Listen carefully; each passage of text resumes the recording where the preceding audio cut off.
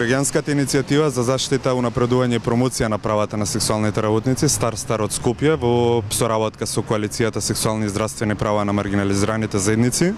годинава во рамки на а, кампањата 17 декември организираме денови против а, насилството врз сексуалните работници со три клучни ивента од кои што едниот е Скопски Red Light Дистрикт, односно а, улица на црвените фенери, позната во во Амстердам. А, целта на идеја идејата е на, на Скопјани и на граѓаните на Република Македонија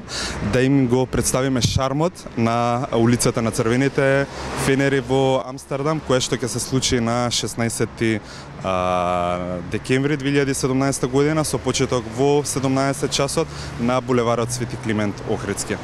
А, така, целокупната идеја ни е, ова е на некој начин еден вид на истражување со цел да го а, опипаме мислењето на, на Скопјани и на општата популација, што тие мислат, доколку а, во нивниот град а, постои една улица на црвени фенери или постојат излози со девојки кои што а, ги нудат своите услуги на, на нивните клиенти. А, перформансот, а, морам да истакнам дека ова овде станува збор за еден перформанс кој што ќе се одвива во два сегменти, односно во два дела. А, почетокот на првиот перформанс е закажан од 17 до 19 часот, потоа со еден час пауза до 20 часот и вториот дел од перформансот од 20 до 22 часот. А, целта на перформансот е девојките да остварат една интеракција со општата популација, без разлика дали се тоа нивни купувачи на услуги или не се, дали се тоа случајни минувачи, кои што во себе интеракција, а, меѓутоа збориме за интерактивна комуникација помеѓу девојките и а, публиката од надвор, меѓутоа преку стакло. Девојките во себе ќе носат, ќе имаат прашања испишани на големи табли, кои што ќе им ги поставуваат на, на, на, на својата публика а од друга страна публиката ќе треба да одговори гестикулативно на да даде одговори на на нивните прашања. Прашањата се од поврзани од типот на тоа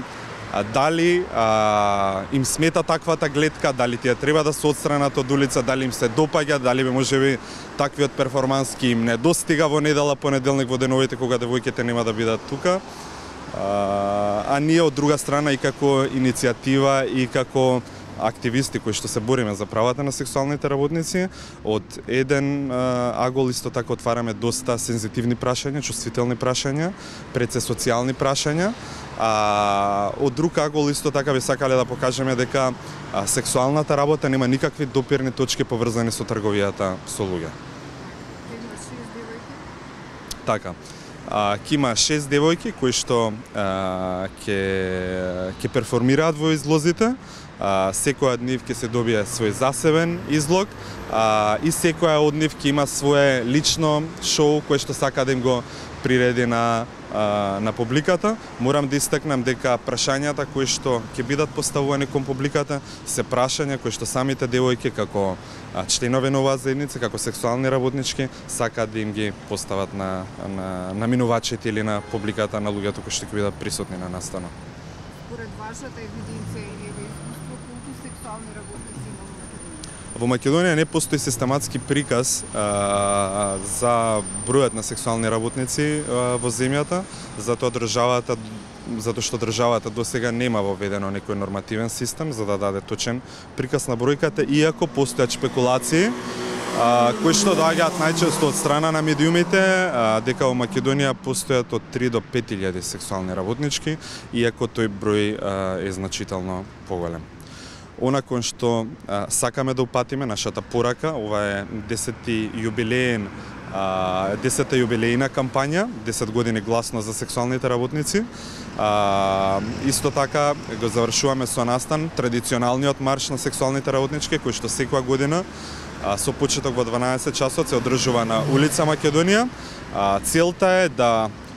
упатиме порака до институциите дека сексуалните работнички имаат значаен придонес во, во, во општество, дека тие се сврлени на маргините на општеството и дека ние на вистина треба заеднички да да работиме во подобрување на нивните услови за, за живот и за работа.